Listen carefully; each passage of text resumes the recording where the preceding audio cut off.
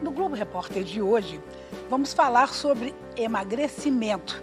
A luta para perder peso faz parte do dia a dia de homens e mulheres em todo o país. Você vai conhecer o homem que emagreceu mais de 130 quilos em pouco mais de um ano. Como se duas de mim tivessem desaparecido.